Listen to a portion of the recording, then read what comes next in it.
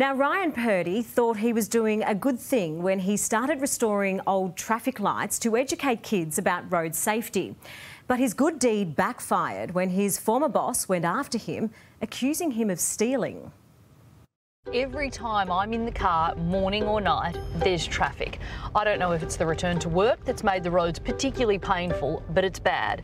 And the traffic lights, I cop every single red.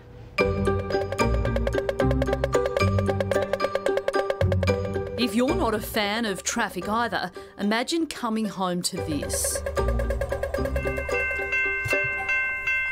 So, Ryan, what do the uh, neighbours think of what's going on in your backyard? Ah, I think they know me by now. It's the backyard of nightmares for most, but this is Melbourne dad Ryan Purdie's happy place. So, how many of these have you got in your yard at the moment? Um, probably got about 40 down there.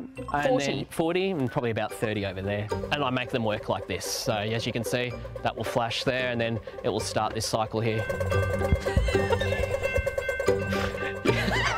wow. Yeah, yeah. This is kind of weird. Is it?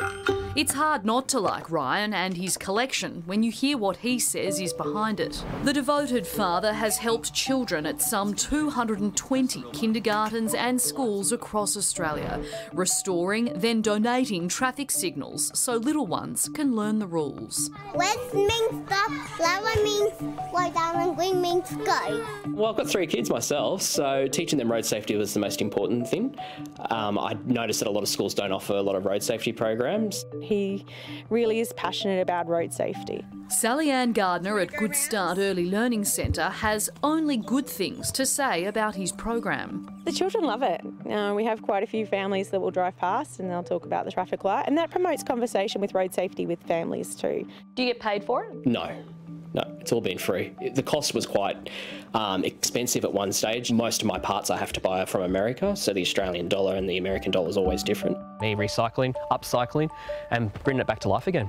So the traffic signal doesn't meet standards anymore for VicRoads, and that's when it gets put into this skip, and it's everything from railway crossings, traffic signals, Traffic signals, these signs. pedestrian signals here, These pedestrian here. ones, yep.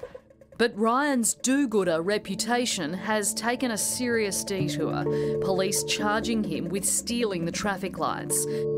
He claims he had an unofficial arrangement with maintenance contractor Tyco Traffic and Transportation for four years, where he would pick up unwanted equipment to go towards his project. Ryan claims the relationship soured after Tyco gave him a job. What started as a driver role, he says, turned into other duties Ryan wasn't happy with.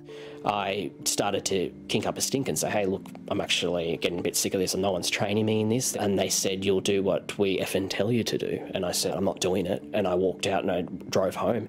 And I wrote to the manager at the time and I said, I'm not doing this job. It's no coincidence, in Ryan's eyes, that after years taking traffic lights without a problem, it was only days after lodging a WorkCover claim that police swooped. I've never been that type of person. I've never been charged with anything in my life, and this has come as a big shock. Ryan's arrest does sound rather dramatic for someone accused of stealing traffic lights. After finishing some shopping, he says eight or nine plainclothes detectives confronted him in this car park and handcuffed him before putting him in a divvy van. Ryan claims he then copped some 17 hours of questioning while officers searched his home. Police allege they found more than 7,000 stolen items at Ryan's home. Did you steal these traffic lights? Nope, I have not stolen any traffic lights. I've had proof and permission over the four to five years, even while working there, that I could still do my program and I could still take all these lights home. Ryan has kept texts and emails, which he says proves it. I feel a bit fearful. I mean, worst case scenario for me, I will end up in jail um, because this will go to the county court.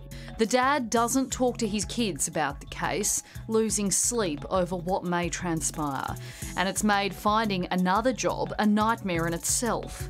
On the first day of my job, they knew that I was the traffic light guy, and I had to explain myself in a way where there's pending charges of theft. And it's not just stealing old grandma's handbag, it's 250,000. It's quarter of a million dollars. I couldn't continue working there. How hard are you going to fight this? I'm going to fight this all the way to the end.